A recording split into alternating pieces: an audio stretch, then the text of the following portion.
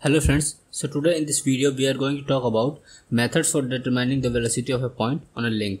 It is very important for gate exam as well. Okay, so many questions have been asked from this topic. Basically there are two methods for finding velocity. One first one is instantaneous center method.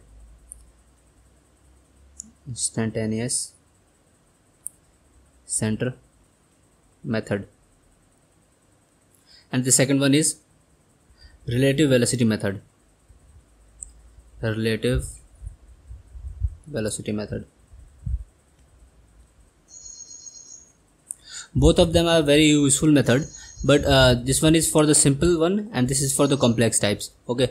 If there is any 2d motion then we could easily find out the uh, find out the velocity of any point uh, and uh, this one relative velocity method is used for the complex things okay. Uh, but i like this one second one because uh, if you learn this relative velocity method then you can easily solve any question any question of uh, any question related to the velocity uh, of a point for determining the velocity of a point. Okay. So but uh, for the gate point of view first method is important because it doesn't require any scale or pencil uh, or other things. But uh, in this method relative velocity method you require a geometry box and uh, you have to draw the diagrams and then we could find out the velocities. So in this video we will discuss about instantaneous center method okay? Instantaneous center method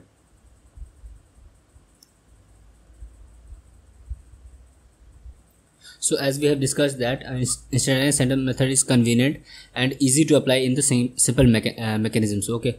But whereas relative velocity method is a uh, little bit tough because we need to uh, draw a conf configuration diagram for that okay?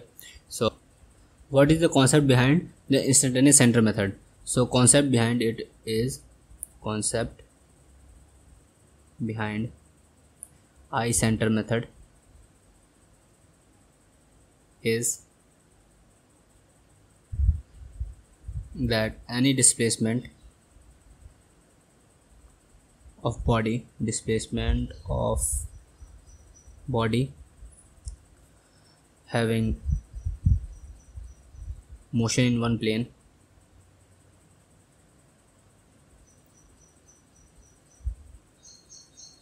plane can be considered as a pure rotational motion can be considered as pure rotational motion. Okay. So so what we do in this that uh, the any displacement of body and displacement in the mechanism is uh, if there is any displacement of body in one single plane then we'll consider it as a pure rotational motion. Okay. Pure rotational motion of the rigid links of which uh, there is a i center uh, over which we'll concentrate all these uh, motions okay? And this center this i center is called uh, instantaneous, instantaneous center or the virtual center of rotation. We'll understand this using a graph okay? Uh, sorry using a diagram and this will be very easy for you okay? So consider some object okay? In which there are two rigid points a and b okay? Rigid link sorry. Rigid link a and b now uh, suppose in the velocity of a is va and b is somewhere in this direction okay. So suppose this is vb. This is at some angle alpha from the point of contact between them. So this is alpha and this will be at angle some beta. So this would be va cos alpha and this one would be vb cos beta now how we can find out the i center for that? Okay. So we have first we have to draw its perpendicular uh, a line perpendicular to the velocities vb and va so let us draw a perpendicular. And same per perpendicular from the point a. Okay. You can either draw in this direction as well but uh, it will not coincide. So i know that it will coincide over here. Okay. Intersect over here. So i'll draw in this direction either you can draw it in this direction as well and this is in this in in another direction as well but they will not intersect at each other. So this is the point over which they intersect and this center is called i center okay? Instantaneous center. Now suppose that we know the value of va and its direction as well okay? And uh, we don't know uh, the the direction for uh, vb okay? And but we know its uh, uh, magnitude so we have the magnitude of va but we don't know the direction. Then we could find out its direction or its uh, magnitude as well. If any one of the any one of these is missing using this equation using this uh, method sorry. Okay. Now what we have written in this uh, line that uh, i center method is there is a displacement of a body having in motion in one plane then it could be considered as rotational motion at one point. So this is a rigid link okay this is rigid link and it is rotating about point i. So this is the uh, concept for i center method. So i have missed something over here. Uh, i didn't write it. Uh, it is for the rigid okay for a rigid link. You need to write it down. So suppose in this uh, uh, configuration vb is missing okay. The magnitude of vb is missing. So we have to find out the magnitude of vb so for that uh, we have to do some calculations okay there is some uh, there is a method for this uh, the derivation. So we'll derive it first and then we'll file down wh uh, what is the value of vb so let's move on. Here from here from the diagram we can see that the relative motion in between a and b is 0 okay? Because they both of uh, both of them lie on the same uh, rigid link so there will be no relative motion okay? Now now as we have resolved these uh, va and vb va and vb in the in the same direction so what it would be? It would be va cos alpha minus vb cos beta equal to 0 so it would be va cos alpha equal to vb cos beta.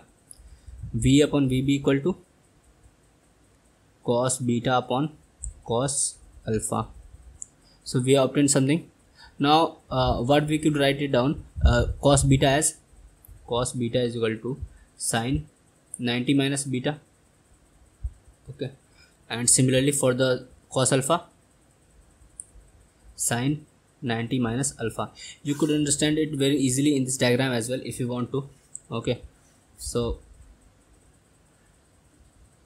so this angle will be 90 minus beta and this angle will be 90 minus alpha uh, i'll make you understand this one. Uh, suppose this is uh, as it is given as angle beta.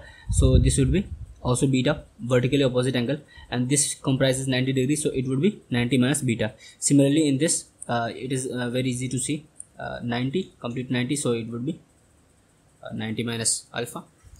Now we could write it va upon vb as cos beta upon cos alpha equal to sine 90 minus beta upon 90 minus alpha okay so this is equation 1 now we could obtain an other equation from the Lami's theorem or Lami's theorem what do you say from Lami's theorem. Applying Lami's theorem in, in triangle A B I. Okay, in this triangle we'll apply Lami's theorem. Okay, and then what we will obtain? Uh, um, it will be ai upon sine 90 minus beta. So ai upon sine 90 minus beta equal to uh, bi upon sine 90 minus alpha. Bi upon sine 90 minus alpha. Okay. So this is the equation we have obtained. So we could shuffle it okay.